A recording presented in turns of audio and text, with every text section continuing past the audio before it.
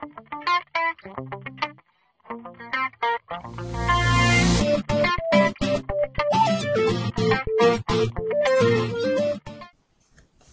everyone, today I'm going to be showing you how you can jailbreak your iPod Touch, iPhone, or iPad 4.2.1 using Snowbreeze.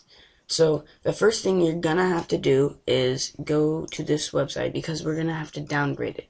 Because the Red Snow 4.2.1 jailbreak is not good at all. And so it's it's tethered, so every time you turn it off it you lose Cydia and all the apps you've downloaded and it freaks out on you and you have to it's it's a mess. So you want to go to this website, felixbruns.de, and once you're there, you click iPod firmware. Then you choose what you have. So for me, what I have is iPod Touch 3G, and you want to do 4.1 because that's what Snowbreeze works on and then you download that. Oh, and you also you have to download it in Mozilla Firefox, otherwise it won't it won't download right. And see, as you can see, I already have it downloaded here. See, 4.1, and I had 4.2.1 because I tried Snowbreeze. I mean Red Snow and it didn't work. So you go back to this website, and what you're also gonna have to go to is this website to download Snowbreeze. It's I hate with an eight snow with a zero dot com. So once you're there, Snowbreeze 2.1, you click download. It's going to take you to the screen. You click regular download, and you're going to have to wait 15 seconds, and then we'll download for you. And you don't need to be in Mozilla or Internet Explorer. It doesn't matter. Either one works. And so, I don't want that, so I'm going to click out of it. But that's how you download it. And I have it downloaded here, and then what's going to happen is you're going to have a folder right here. Well, I'm just going to download it for you guys, just so I can show you what you need to do. It'll be easier. Okay So download, regular download, and I'll take you guys back when we're we download. Hello everyone, I'm back, and Snowbreeze is downloaded to the desktop, which is where you want to download it, just in case you didn't figure that out already. And so once you get here, you want to extract all, extract, and then it'll come up in here, but it'll also be right there. So when you click on it, you want to drag this to the desktop. Oops drag it to the desktop like I did there. And then once you drag it to the desktop it's here. You can delete this and you can also delete this. So next what you want to do is you want to open iTunes. Give it a sec. iTunes takes up a lot.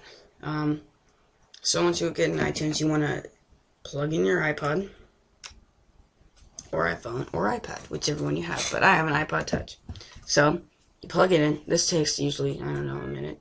So it's censored. And, uh, see it's available. I Since I already downgraded mine, it says it's the new one's available, but say later. So, once you get into yours, oh, and FYI, you can't downgrade it if you have an iPhone 4. So, just a little heads up. My friend tried to do it, and it's an error occurred. So, you can't do it with an iPhone 4, but everything else you can. I'm pretty sure. Yeah, I'm almost positive. And if it doesn't, leave a comment below, and I'll try and help you out. So, what you want to do is you want to restore. You want to hold Shift, click Restore.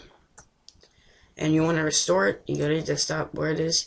You want to restore it with the 4.1. So, restore with 4.1, you open it. Since I already did that, I hit cancel. That will take a while.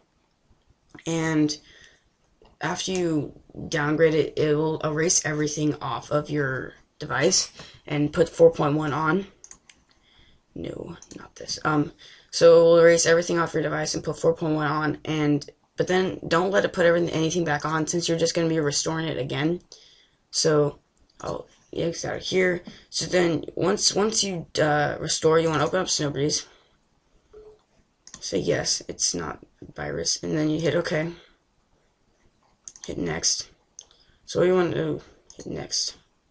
Close credits. Okay. So, so what you do, you browse for your IPSW file.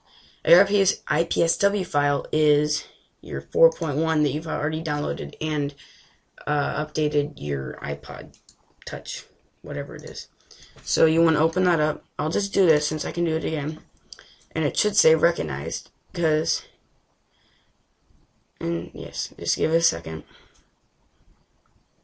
because this is 2, Snowbreeze 2.1, so it's for 3.1 and 4.1. See? Verified.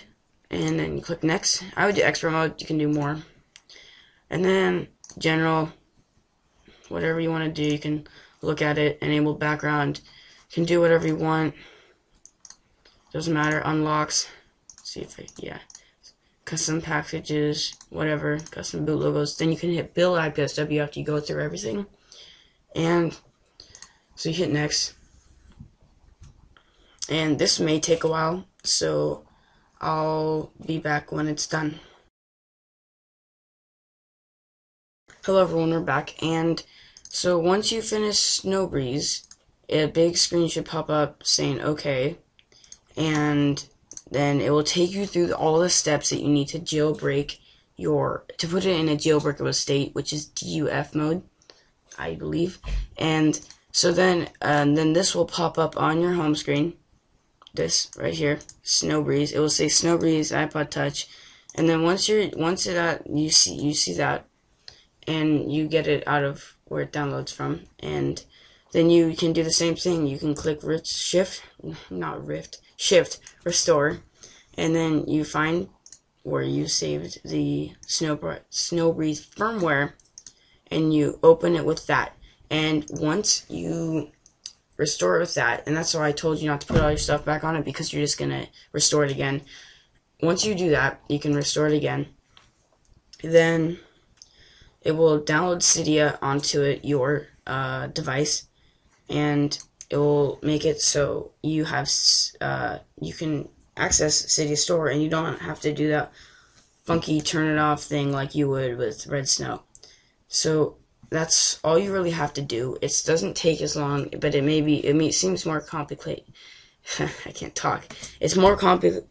It's not as complicated as it sounds, and then after you download it and see, you can see right here.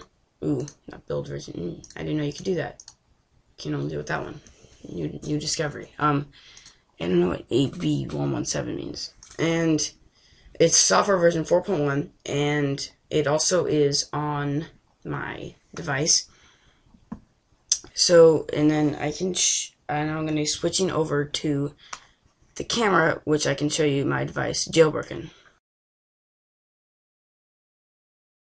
This is my jailbroken iPod Touch, and so I can I'll prove to you that it is jailbroken.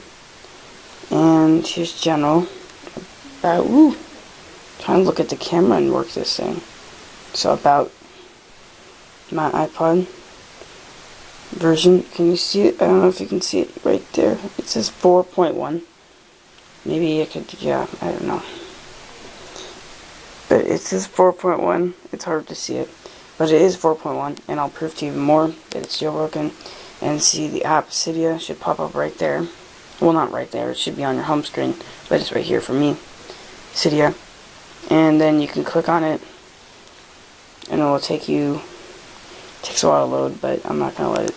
It takes like a minute, not even. And so then, that's, that's all, guys. So thanks for watching leave a thumbs up and subscribe and yeah thanks for watching